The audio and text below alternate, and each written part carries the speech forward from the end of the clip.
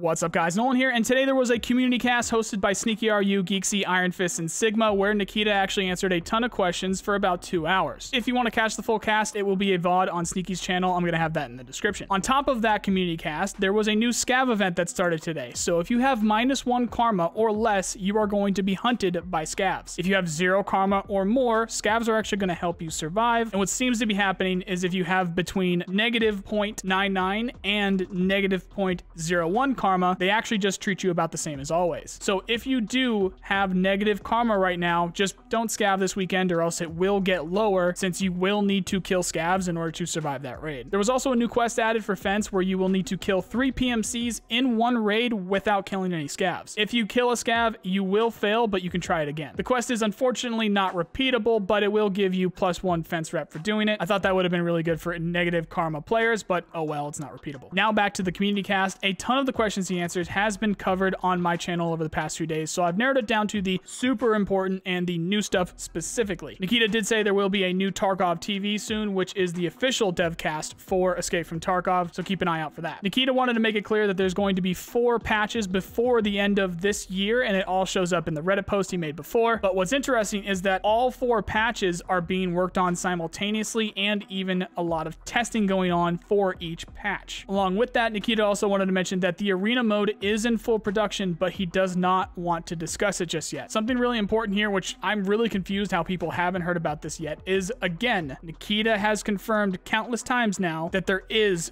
going to be proximity VoIP in the game, and it's coming with patch 12.12. It's going to be switched off by default, and you will be able to block, mute, and even report to potentially ban anyone that messes with you or uses it incorrectly. There's also going to be an option to mute everyone but the people that are in your party, but of course, everyone will still be able to hear you. You just won't hear them. I really don't see any problem left about VoIP. There really shouldn't be anything that you wouldn't be able to do with it. Like I said, Nikita was terrified of VoIP, and it looks like he's really figured out how to implement it correctly. Voice lines are going to be coming with scavs, but they won't be in English. We'll have to figure out what they say by doing the voice lines since they will show up in English in the UI and then get used to it from there. They talked a lot about what's going on with the dynamic loot and everything, where Nikita said it seems like every time they make a big change, everyone freaks out and then eventually gets used to it. So they're they're really keeping that in mind going forward. Basically, what they're saying is anytime they make a significant change, we're gonna need to put a couple days into it at least before we start freaking out or they make some changes. And just like VoIP, we really need to try to get the word out better about this. Nikita specifically called the dynamic loot change a change and even said specifically, it is not an event, it is here to stay. So that's the end of it. This is a permanent change and we need to adapt to it to move on. He talked in detail for a little while about it. They are continuously tweaking loot spawn locations and rates to find the sweet spot for loot. They're using heat maps to determine locations of loot, so we need to start searching inactive areas more. They're trying to stay focused on high value loot areas instead of a specific spawn. So loot will spawn in the building instead of a specific room or in a room instead of a specific shelf. And it obviously differs depending on what that loot is. BSG didn't like that people got used to running to a very specific location on each of the maps. And Nikita specifically wanted to say that loot stayed the same initially, but now they've even buffed it a lot, so there's even more spawning. It's just in different spots. They want to make every raid feel different to people, and this dynamic loot system helps do that. Heat maps show players moving around the entire location now instead of only one to three specific spots, but it's obviously brought combat down because everyone's just kind of looking for the loot. They are going to mess with things until they do find that good middle ground between not being able to find the loot and combat. The Omnicron container might come with patch 12.12, and if you haven't heard about it yet, it is the in-between secure container for the Epsilon and the Kappa. It's basically a Gamma with an extra 1x3 slot. So it's not 4x3, it's just a 3x3 and then a space and then a 1x3. They talked about events a lot and randomly I would get bits and pieces of new events that I haven't heard about before. Nikita mentioned something about the possibility of an open door event where you will not need keys. That would be interesting. And then the rest was basically just a mix of a certain type of loot not spawning like meds or ammo. They discussed how the team is doing overall and Nikita wanted to mention that they do have over 150 devs right now at BSG, but they are still about a 50-50 in terms of people working in the office and people working from home. He did want to say it's much better now though. The discussion about rats and chads came up again. Nikita himself is not against casuals, but He did say Escape from Tarkov is kind of going to be. It doesn't mean you can't enjoy the game as a casual, you just need to realize you're probably not going to be able to do a lot of the things in the game. He specifically said it's going to make you learn and adapt, and you need to be able to use your specific advantages in each and every fight, which you're not going to be able to do that if you don't put some serious time into the game. They talked a lot about advanced animations again, where again, people didn't hear about this stuff. So if you haven't heard about it, there's going to be more controllable blind fire, new gestures, an unconscious state,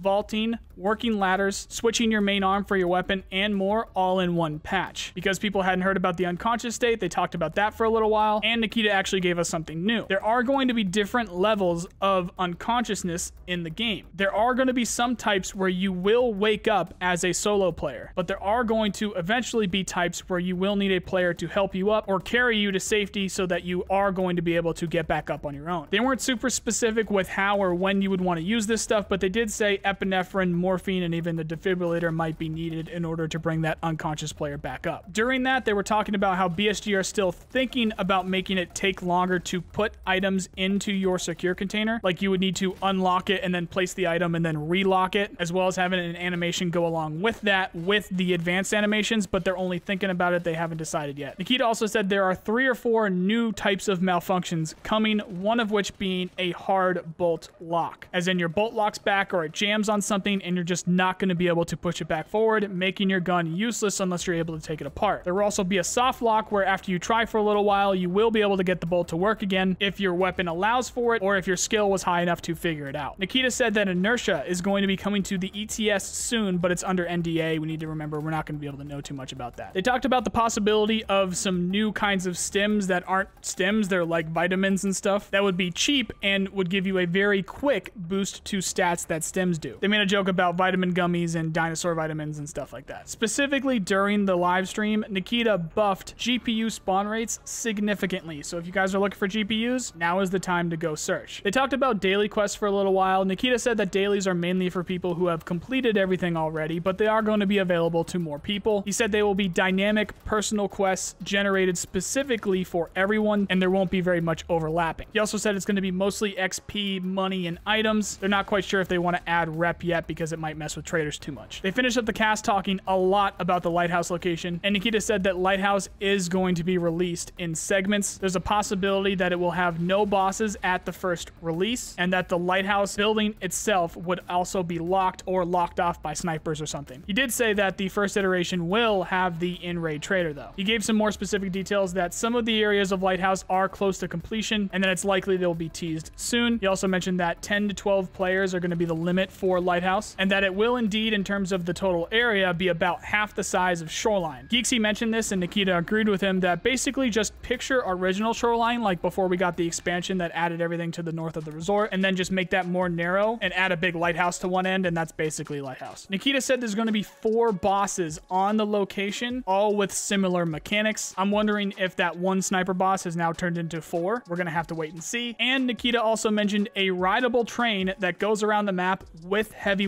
weapons on it that's also an extraction. However, he did say that's not going to make it into the first iteration either. So either way, at some point in the future on Lighthouse, we could have up to four bosses. They might all be snipers and a train like we have on Reserve, but with heavy weapons that we can use to shoot at people with. Then before they ended, somebody mentioned Halloween and Nikita said he actually forgot about the Halloween event because they were so busy. So he made sure to take a note about it. And they said they are going to do a Halloween event and they had something special in mind for it. And that was everything from today. We had a ton of news over the past few days. So tomorrow, I think I'll get a video together that combines everything, but we'll have to wait and see if something else pops up on top of everything we already have. However, until then, if you are looking for people to play with, check out our Discord. Link is in the description. For the latest Tarkov news, check out these playlists here. If you like this video, then you know the drill. Please subscribe. I really appreciate the people who do. Otherwise, I hope you have a nice day. See you guys.